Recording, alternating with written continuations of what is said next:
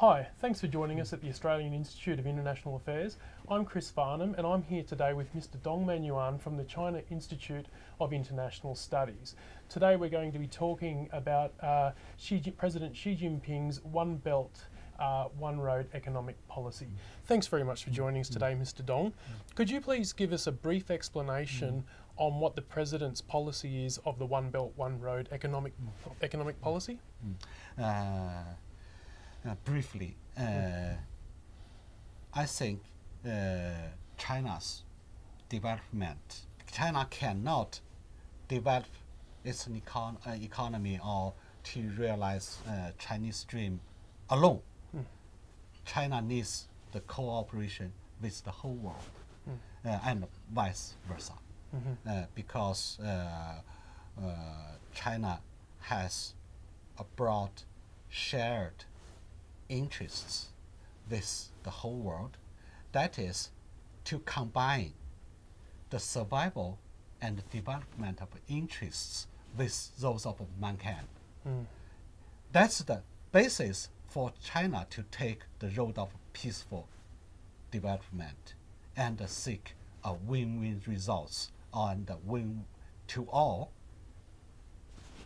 Uh, so, under such background, China President Xi Jinping uh, initiate, uh, put forward the initiative of uh, One Belt, One Road that is uh, uh, jointly uh, built Silk Road economic belt alongside the European Eurasia continent and maritime Silk Road in 21st century, which the goal of this is to realize common uh, development and common prosperity uh, for the countries along the belt and the road in particular and open also open the door to all the countries. And uh, it will lay some emphasis on the, the following connectiveness. For example the policy communication that's a, kind of connectiveness. And financial and currency connectiveness. Infrastructure connectiveness. Uh, people to people contact that is also a connectiveness. Uh, so uh, in this regard i think uh, china's cooperation uh, with australia and new zealand is a natural extension of the Belt and Road Cooperation Initiative because uh, the cooperation between China and Australia in field of uh, infrastructure, infrastructure construction uh, are very important. This maybe uh, I mean I mean there's a potentiality for the uh, accommodation between the two countries' economic development strategy. Uh, I was told that uh, Australian government um, made up uh, their decision to uh, develop the infra- uh, infrastructure in northern Australia, uh, including uh, seaport and uh, other uh, infrastructure, uh, infrastructure facilities. Also, we should deepen our cooperation in the field of resources, renewable energy, and agriculture, and uh, animal husbandry, and, uh, and so on. Also, we should put more resources in the field of uh, people-to-people con- uh, contacts and friendship. I, I agree. Australia has been mm-hmm. looking to the, mm-hmm. the Northern Development mm-hmm. Plan, looking towards the development in Asia and how we can capitalise on this development. And uh, New Zealand has also benefited greatly from its trade relationship with China. Um, getting back to the, the One Belt, One Road policy, the, the One Belt looking at, uh, as you said, the Silk Road development through Central Asia mm, towards mm, Europe mm, and the maritime development uh, through the Maritime Silk Road. Um, it seems to be a, a very ambitious plan for the region. Uh, it's it's quite a step forward in China's relationship mm-hmm. with the region. Does that does that suggest that President Xi Jinping, with his new policy, uh, has a different view from uh, the previous Chinese leaders, or is this a natural development in China's growth within the region? And this is a continuation say, of the uh, policies uh, between um, every Chinese government and uh, every Chinese leaders since China uh, launched its uh, economic reform and opening up, up to the outside world. Uh, because the crux of this uh, policy is to uh, seek a common development with both developed countries and developing countries. Uh, so it's a, I mean, it's a very, very natural uh, f- for because uh, the Belt and Road Initiative uh, before, I mean, the, uh, advocate advocation of the, this uh, policy, we already had some uh, solid basis to initiate s- such a cooperation uh, proposals. Yeah. Uh, for example, uh, China already become very important trading partner with Australia, Absolutely. with New Zealand. China is the first trading partner to ASEAN countries uh, uh, in general.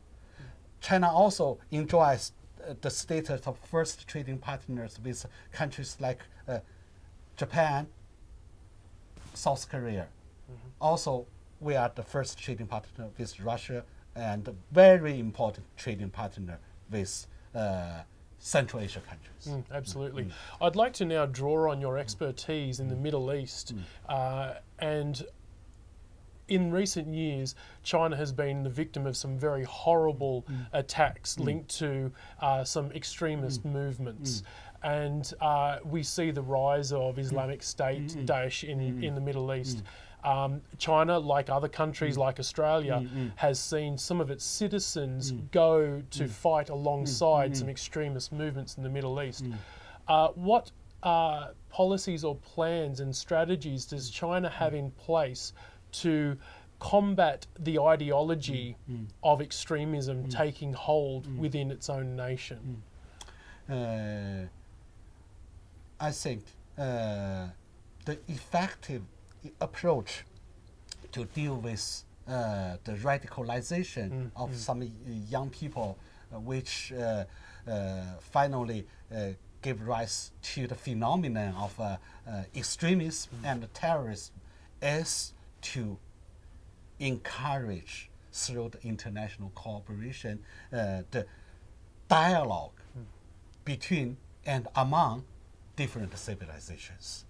Uh, and also should uh, pay special attention to the common development of various countries in the, in the world because the development is the general key to the uh, to address the issue of extremism and uh, terrorism.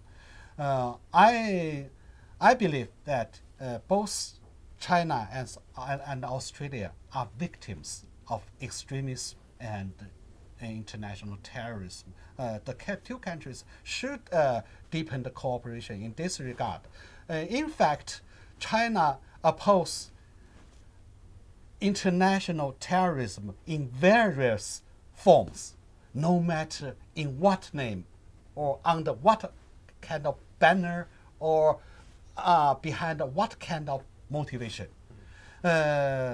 China uh, engaged in very good cooperation with major powers and international community, uh, both, uh, I mean, in the uh, framework United Nations, including the Security Council, also built up very good cooperation with the major powers like United States and Russia.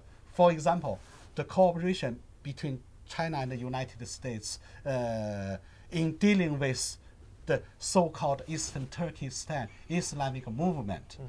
Uh, through the joint efforts by China and the United States, uh, United Nations Security Council passed a resolution to enlist this terrorist organization into the name list of uh, the foreign uh, terrorist uh, groups by the Secu- Secu- Security Council. And uh, simultaneously, State Department of the United States also enlist Eastern Turkestan Islamic movement into the name list of uh, foreign terrorist group, groups.